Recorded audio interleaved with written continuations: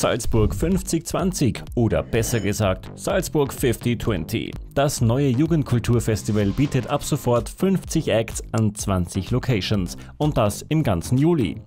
Von Raves über Live-Konzerte bis zu künstlerischen Ausstellungen wird in den kommenden Wochen sehr viel geboten.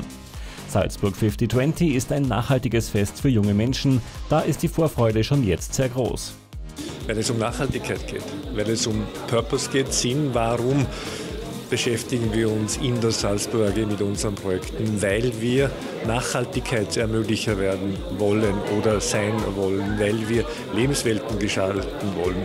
Und dieses Festival 5020, 5020 ist genau ein Nachhaltigkeitszimmer für junge Generationen.